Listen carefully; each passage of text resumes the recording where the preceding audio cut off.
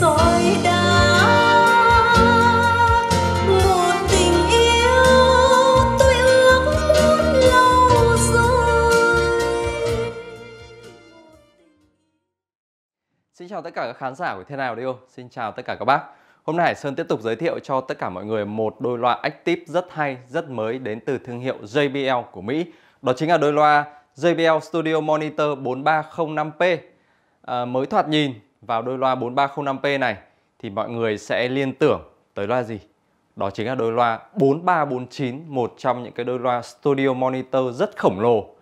À, tức là khi mà nhìn vào loa này thì chúng ta nhận ra rằng là nó là cái loa được làm theo hình dáng của loa 4349 nhưng mà thu nhỏ lại, thu nhỏ lại rất nhiều rất nhiều và được trang bị luôn âm ly ở bên trong.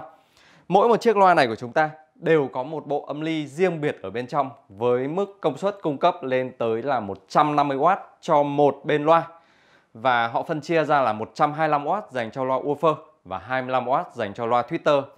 Như vậy thì chúng ta không cần phải à, nghĩ tới vấn đề phối ghép với một chiếc âm ly nào hết.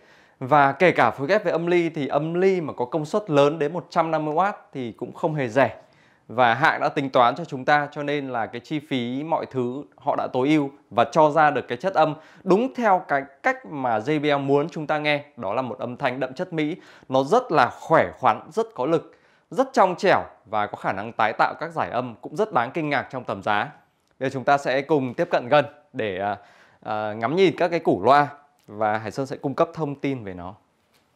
Rồi, đây là củ loa woofer của loa ờ, của củ loa woofer này sẽ phát ra cả âm giọng hát và cả dài trầm.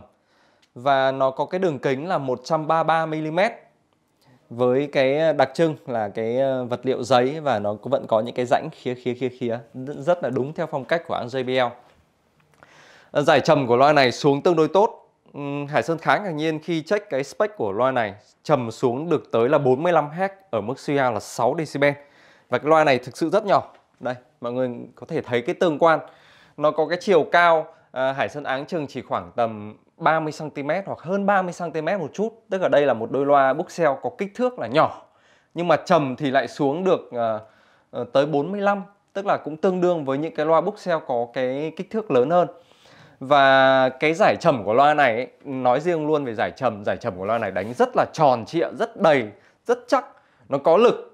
À, tất nhiên là độ sâu của nó thì chỉ sâu được vậy thôi, nó vẫn còn thiếu cái phần sub bass, cái phần của cái phần bass mà trầm nặng hơn thì nó không có. Nhưng mà cái phần trầm trên của nó nó làm rất tốt và nó không hề cho cảm giác bị bị đục hay là bị lấn các cái giải âm khác. Và cái tiếng trầm này nghe nó có sắc thái khác nhau chứ không phải là một cái tiếng trầm mà bình bịch. À, và họ đã thiết kế hai cái lỗ thoát hơi ở phía đằng trước đây hai lỗ thoát hơi nhỏ cho nên là tiếng trầm này à, cái cái phần trầm ấy sẽ được đẩy nhanh cái phần hơi ra phía đằng trước. À, hai cái lỗ thoát hơi hoạt động rất hiệu quả. Nếu như họ sử dụng một lỗ thì có thể là sẽ gây ra một cái tiếng ồn do gió nó đi qua lớn quá nhưng mà hai lỗ là tốt hẳn luôn. Và thêm nữa rằng với cái thiết kế như thế này chúng ta có thể đặt cái loa này sát gần với tường sau mà ít bị ảnh hưởng bởi cái độ cộng hưởng với phía tường đằng sau. Một thiết kế rất hay. Còn tiếp tục lên phía trên họ trang bị cho chúng ta một cái tweeter có đường kính là 25,4 mm và đặt ở sâu phía bên trong. Và cái họng kèn này này họ gọi là HDI tức là dịch ra tiếng Việt có nghĩa là à, độ phân giải cao. Tức là cái phần Twitter kết hợp với cái phần họng kèn này được làm khía rất là hay.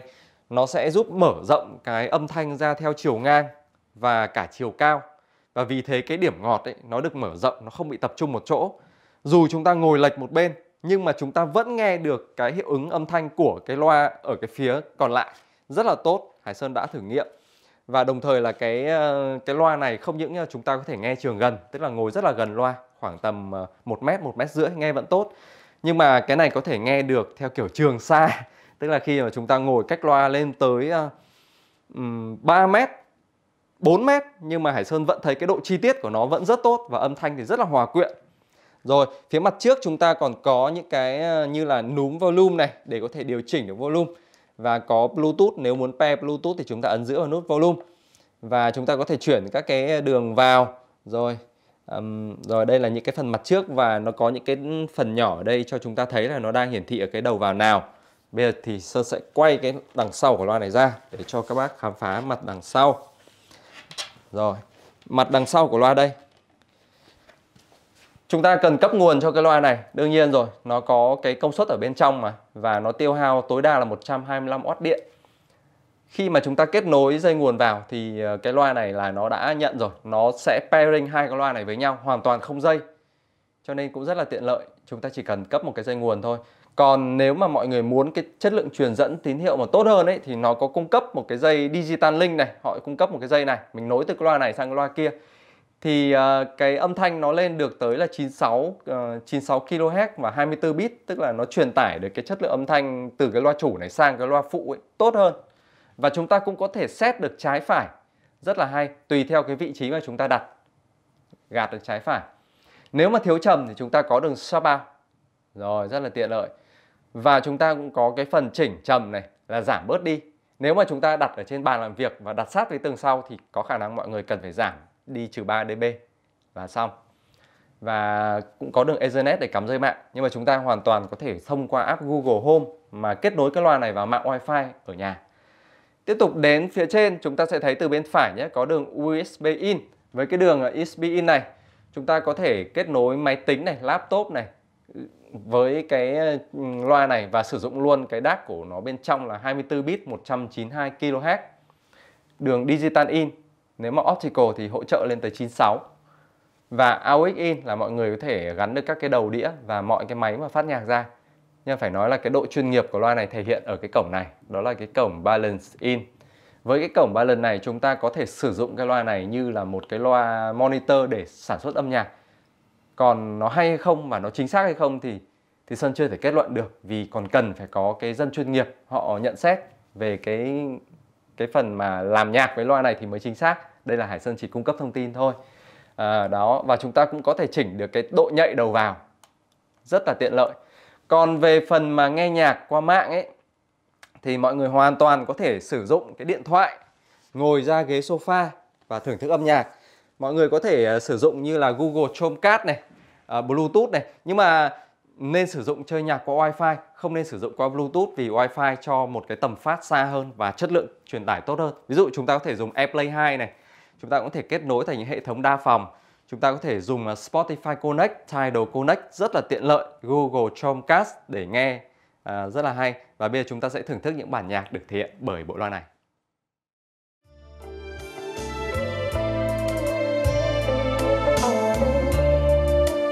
gõ cửa trái tim vang em được vào dù tình xót đau ngủ với chim bao, nỗi niềm mặt xanh sao nhưng anh vẫn ngóng tim em mở cửa. Gõ cửa trái tim, sao em hững ngọ hồn tái tê, năm canh thần thờ nhiệt lòng mắt răng tơ một mối bơ vơ. Khi không em nhốt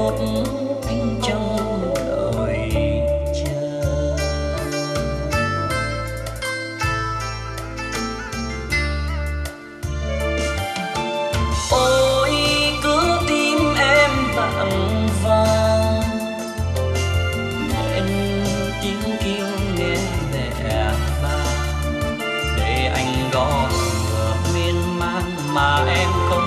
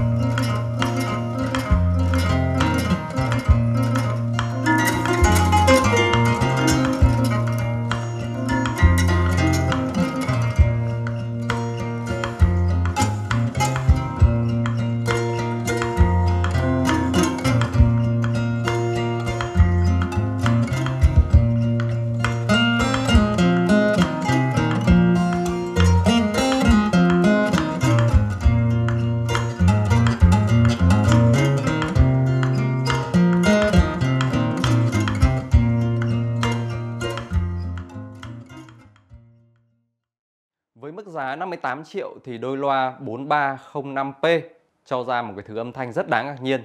Hải Sơn có nhận xét đôi lời như sau. À, âm thanh của nó, đây là Hải Sơn đang set hai cái loa này cách khoảng tầm 1m4, 1m6 và cảm thấy được rằng là âm thanh ấy ở giữa hai loa nó dày đặc, nó đặc quánh luôn, tức là nó cho ra rất nhiều âm thanh.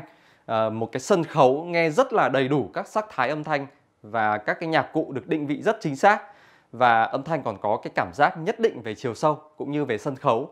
Còn về độ tách bạch thì cực kỳ tốt, rất chi tiết và đặc biệt Hải Sơn rất thích là cái trung âm của loa này nghe nó có cái độ sáng, nó không bị tối.